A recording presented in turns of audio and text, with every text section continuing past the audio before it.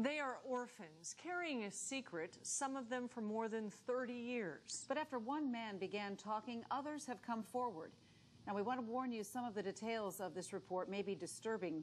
I-Team reporter Kerstin Lindquist investigates what they say is going on at Miracle Ranch.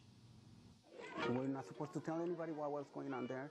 He, he still he was kicking me and, punch, and punching me. I feel so dirty. I was afraid, so I never say anything. This man abused me, raped me, and They say they're victims 35 orphans who grew up here, Miracle Ranch, a Christian orphanage, a dusty, secluded compound in the foothills 90 minutes south of San Diego.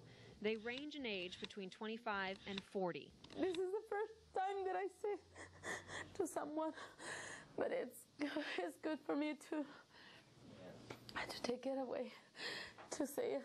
They claim it was this man, Antonio Hernandez, and his brother Jose Hernandez who abused them, and this woman, Edna Hernandez, Antonio's wife, who did nothing to stop it. She show you, oh yeah, like a bird. No, she is not.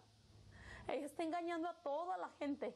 They describe a place of fear where the generator was shut down after dark so that no one could turn on the lights when the men would come into the dorms. When I used to see Antonio going under the blankets with little girls and kissing them and touching them. They talk of repeated rapes, girls as young as six sexually abused to the point of bleeding, while Edna did her best to cover it up. We saw the, the, the trash can with a lot of blood, papers, and diapers. And you know what Edna told us? That she got hurt with a um, cactus. Like Elsa Ochoa, now 40 years old, they all continue to carry their shame.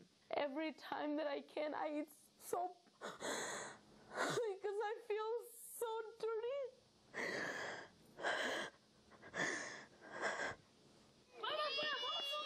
This is Miracle Ranch today. The I team went undercover to see for ourselves. The place is lacking in much, but to our untrained eye, the children seem healthy, happy. We find Jose Hernandez, the brother of Antonio, was forced to quit after complaints from other staff members.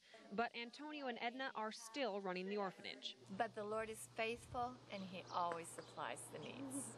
There's a lot of people that would describe them as kind of the Mother Teresa of Ensenada. The I team showed emotional footage of the victims to Mark Stratton and Drew Belk. They run Baja Children's Fund, which supports the ranch, some of their money coming from generous San Diegans. And we don't believe the accusations against Antonio because there just appears to be ulterior motives. They believe those claiming to be victims are being manipulated by two former ranch staffers, Steve Scheinhofen and Neil Vaughn. They say the two are trying to gain control of the 22 acres the orphanage sits on. Scheinhofen and Vaughn adamantly deny this and say Baja Children's Fund is doing all they can to avoid the real issue. It's really not about us. It has nothing to do with us. Baja Children's Fund does not deny there was abuse at Miracle Ranch years ago and admit at least two pedophiles, Dalton Weber, who admitted to molesting five children at a Carlsbad church in 1994, and John Swink, convicted of lewd acts with a minor under 14, did frequent the orphanage in the 70s and 80s. I think that some of these things probably did happen. There's a, there's a, amount of truth in everything.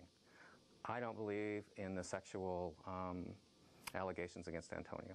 They refuse to believe Antonio and Edna are harming the children. They say the jury is still out on the allegations of current mistreatment of the orphans.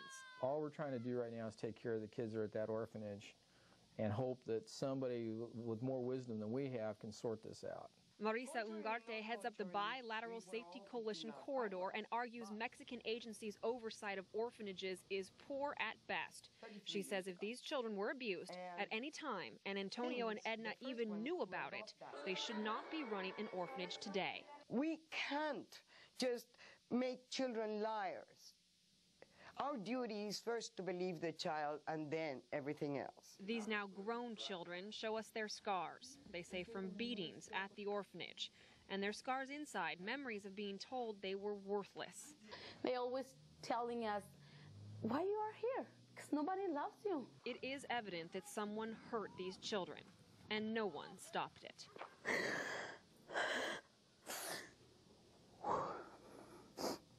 The orphans have filed criminal charges against the Hernandezes in the city of Ensenada. Now, tomorrow night, Confessions of a Pedophile We'll have our interview with the man who admits to sexually abusing the orphans. With photojournalist Michael Gonzalez, I'm Kerstin Lindquist for the 10 News I Team.